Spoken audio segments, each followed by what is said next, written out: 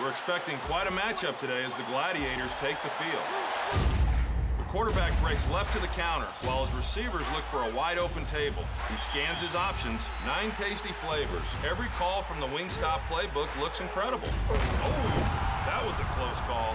He spots his teammates and goes for the end zone. Touchdown! Awkward. A play like that has me reconsidering retirement. Wingstop, the official wings of me, Troy Aikman.